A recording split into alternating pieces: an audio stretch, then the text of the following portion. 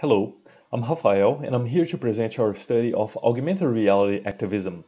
I worked with Erica Cruz from Carnegie Mellon University as part of our internship at SNAP, and we extended on research I did at the University of Washington in collaboration with Dayton Kelly. We were mentored by doctors Daniela Rosner from the UW, Andres Monroy Hernandez, and Fannie Liu at SNAP. In this presentation, I will be talking about our motivation and related work, the methods that we used, findings, open questions and opportunities, and I will close with our contribution. Before starting, I will clarify some of the language that I will be using here. We use the term augmented reality, or AR, to refer to the technology that digitally embeds visual and auditory information on physical environments. We use the term activism to refer to the act of promoting social change, and the term creators to refer to the people who make AR projects for activism. Now, I will be talking about the prior work that motivated our research. AR incubated for decades in research laboratories before reaching mass consumer audiences through millions of smartphones and apps like Snapchat filters and Pokemon Go. These developments created the ideal conditions for a new form of activism that used consumer AR technology to promote social causes. Examples of this type of activism includes the virtual defacement of corporate logos, unofficial AR installations at museums, and participating in protests through AR. We draw from prior HCI work that concerns blending online and offline action referred as hybrid activism.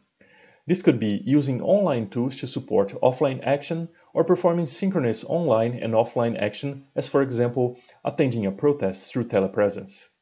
We view AR activism as a form of hybrid activism AR blends online and offline action in new ways by digitally augmenting physical objects and locations that are associated with social causes. Researchers have suggested that, by using AR in this way, activists could convey more immersive messages for their causes while overcoming physical barriers, as such, access to physical locations when protesting is not allowed, or surreal situations like having cartoons walking in real life.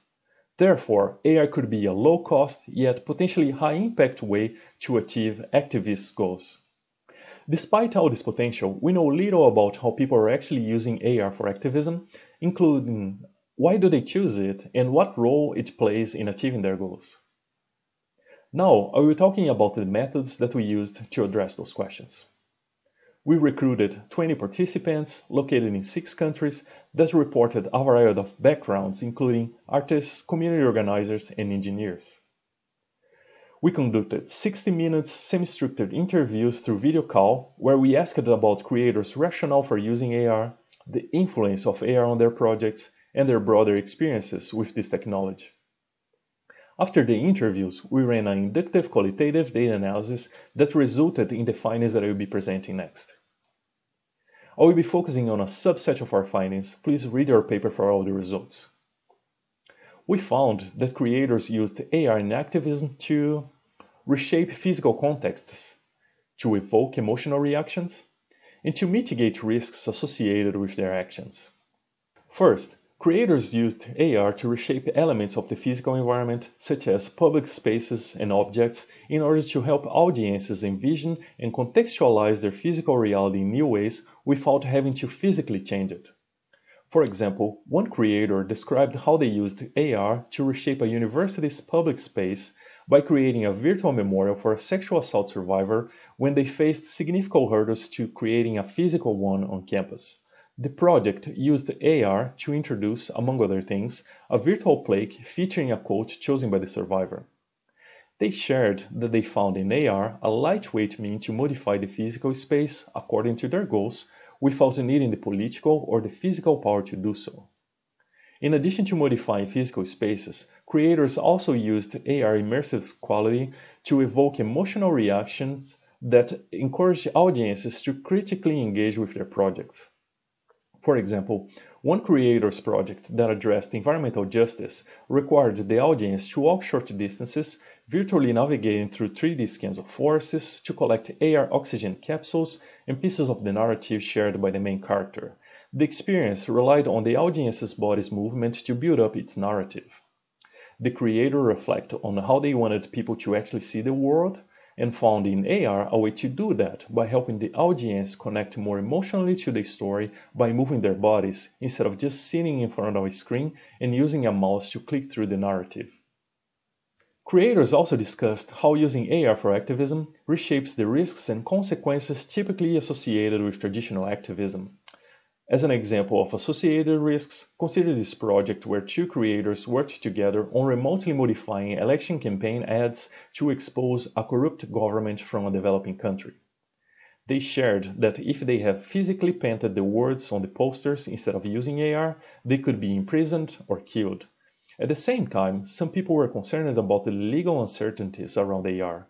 For example, a creator of a similar project on the Trump campaign was concerned about where they might overstep and get sued. This shows that while AR has a lot of potential benefits to supporting activism, there are still significant hurdles that are associated with its novelty and lack of legal precedent. These challenges brings us to key open questions and opportunities in this area. There are several that we discuss in the paper, but for the purpose of this talk, I will briefly highlight two. First, participants highlighted that AR's potential for social change lies less on the tools itself than in the institutional conditions in which these tools are situated.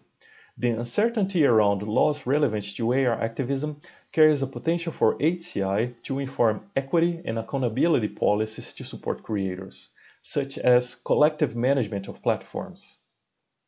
Second, Many participants found that either they were able to or wanted to achieve higher quality and more impactful projects with interdisciplinary collaboration.